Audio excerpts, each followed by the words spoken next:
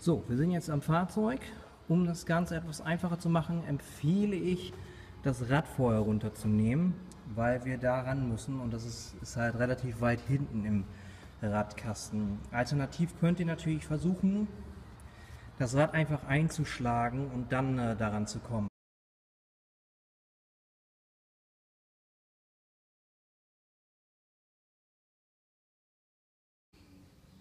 Ja, moin zusammen. Ich werde heute beim BMW E90 325D die Nebelscheinwerfer tauschen. Die Birnen quasi. Ja, was heißt Birnen? Birnen ist Obst. die Leuchtmittel natürlich. Ähm, ja, ich habe mich für Safeco entschieden. LEDs lagen ungefähr knapp über 30 Euro und ähm, machen einen sehr hochwertigen Eindruck, allein schon von der Verpackung her. Sehr edel, muss man äh, einem dazu sagen. Ich habe mir jetzt auch mal angeschaut, also ich habe selten solche hochwertig oder hochwertigen ähm, Leuchtmittel hier gesehen, LED-Leuchtmittel vor allen Dingen. Also die sind wirklich mit diesem kleinen Lüfterrad drin. Das ist äh, damit halt das ganze Teil nicht so überhitzt, damit man noch länger Spaß hat an diesen LEDs. Von der Haptik her und auch wirklich vom Material her top. Also auch das Kabel und so und der Stecker selber alles hundertprozentig. Also da kann ich nicht meckern. Für den Preis ist das schon echt, echt äh, sehr, sehr gut. Und äh, ja, da wackelt auch nichts oder so oder irgendwie. Das ist wahrscheinlich, ich weiß nicht, ob das Aluminium oder Kunststoff ist. Wahrscheinlich so eine Mischung. Aber auch egal. Das soll ja auch nicht jetzt das Thema sein. Auf jeden Fall habe ich mich für diese hier entschieden. Die machten einen sehr hochwertigen Eindruck.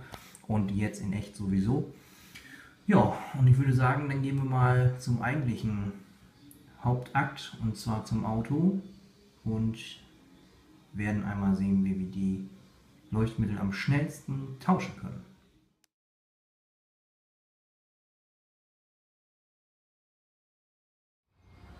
So, wir sind jetzt am Fahrzeug. Um das Ganze etwas einfacher zu machen, empfehle ich, das Rad vorher runterzunehmen, weil wir daran müssen und das ist, ist halt relativ weit hinten im Radkasten. Alternativ könnt ihr natürlich versuchen, das Rad einfach einzuschlagen und dann äh, daran zu kommen. Also wenn es eingeschlagen ist, kommt man auch an diese Kappe hier. Die wird dann einfach einmal abgenommen. So, und dahinter versucht er jetzt mal so reinzuleuchten.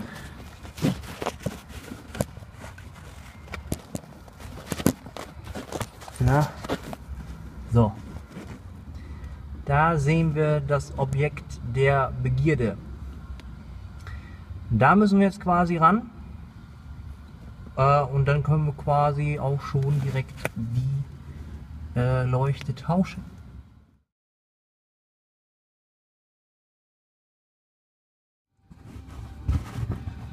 So, um euch das noch mal ein bisschen besser zu zeigen, wird hier einfach nur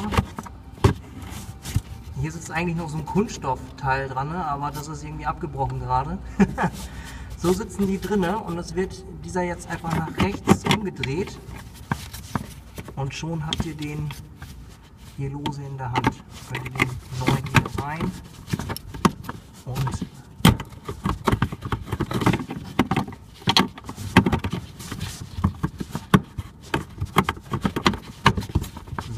neuen wieder reindrücken und einmal festdrehen. Der zieht sich dann automatisch wieder fest. Also falls ihr das Panöbel bei euch auch abbricht, ist nicht weiter schlimm. Und durch diese Zähne hier und diese drei äh, hält das wieder fest. Ich spule euch auch mal kurz hier raus. Ich habe nämlich gerade, um das ein bisschen einfacher zu machen, habe ich einfach äh, hier unten zwei Schrauben gelöst und diese hier im Radkasten und dann den Radkasten hier so ein bisschen rausgezogen um da besser ranzukommen.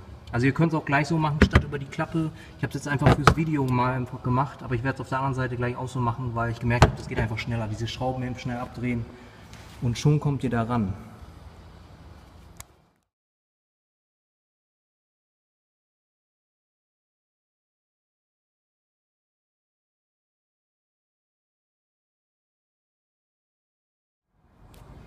So, ich bin jetzt bei der Fahrerseite und ähm, da ging es wieder, wie gesagt, relativ schnell. Ich habe das Rad eben runtergenommen, aber das musste sowieso runter, weil ich Spurplatten drauf gemacht habe. Und ähm, hier, wie gesagt, einmal die Verkleidung zur Seite wegziehen und dann kommt ihr da super an, den, äh, an die Leuchte für den Nebelscheinwerfer. Noch einmal als Tipp, falls ihr LEDs reinbauen wollt, bei diesem hier ist jetzt, äh, könnt ihr sehen auf dem Stecker, Plus und Minus steht da drauf. Ich denke mal, das könnt ihr sehen. Links ist Plus, rechts ist Minus. Der passt auf beide Seiten, also ich kann den so und so drauf stecken. Nur müsst ihr einmal gucken, hier seht ihr schon, links ist Masse, ja, links ist braun und rechts ist gelb und das heißt Plus und braun ist Masse. Das heißt, ich muss den jetzt nicht so rum, sondern so rum einstecken und dann leuchtet er auch. Ähm, der sitzt hier auch noch fest, der Stecker, an mit diesen Clips hier. Diese hier, die müssen so nach außen gebogen werden auf beiden Seiten, damit sich das löst. Weil am Stecker selber, ob es jetzt der Original ist oder der andere, sind ja diese hier. Und die halten das ja. Jetzt habe ich mir schon so ein kleines Werkzeug gebastelt, in Anführungszeichen. Das kennt ihr bestimmt, um Radios rauszuziehen. So ein Teil. Und habe mir vorne einfach diese Spitze hier umgeknickt mit einer Zange. Und somit habe ich immer etwas, um was rauszuziehen. Zum Beispiel Sicherungen. Also ich habe mir das ursprünglich für einen Sicherungskasten gemacht, um in diese Sicherung reinzukommen und die dann vorsichtig so rauszuziehen. Aber auch hier kann ich im Prinzip einfach ganz prima hier so drunter haken und das dann, ohne was kaputt zu machen, ähm, ja, rausziehen, Stecker. Das nur so als Tipp am Rande. Ansonsten das Ganze umgekehrte Reihenfolge wieder zusammenbauen, Lampe rein, festdrehen, ähm, ja, dann die Schrauben hier wieder rein oder in dem Fall einfach die Klappe da wieder zu, je nachdem wie ihr das machen möchtet. Ihr kennt jetzt ja die Methoden. Wie gesagt, ich habe das so gemacht, also ich würde es auf jeden Fall, bevor ich da rein, weil das Blöde ist, hier sitzt der, der Nebelscheinwerfer und da ist die Serviceklappe. Richtig dämlich. Also hier wäre es schon logischer gewesen, weil ihr seht ja, hier vorne ist das ja, ne, in diesem Bereich. So muss ich da reingreifen und nach hinten durchgreifen. Von daher äh, habe ich jetzt einfach diese paar Schrauben hier losgemacht. Da liegen sie. Ja, sind übrigens Achter, Achter Sechskant. So, einmal kurz rausdrehen, das Ding hier beiseite packen, reingreifen, austauschen, fertig. Kann ich auf jeden Fall empfehlen. Und das Rad runternehmen, das ist ja nun auch keine Kunst. Wie gesagt, vielleicht kriegt man das sogar hin, wenn man das Rad eingeschlagen hat. Habe ich jetzt nicht ausprobiert, aber das könnt ihr ja gerne machen und vielleicht auch kommentieren. Bis dahin erstmal und tschüss, bis zum nächsten Mal.